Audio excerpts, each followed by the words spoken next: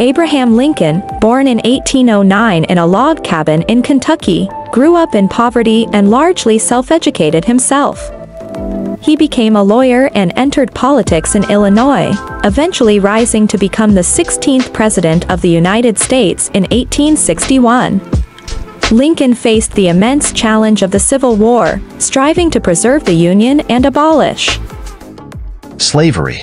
His leadership during this tumultuous time included issuing the Emancipation Proclamation in 1863, which declared slaves in Confederate-held territory free, and delivering the Gettysburg Address, which eloquently reaffirmed the nation's commitment to equality.